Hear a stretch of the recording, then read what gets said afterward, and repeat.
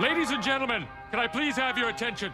I've just been handed an urgent and horrifying news story. And I need all of you to stop what you're doing and listen.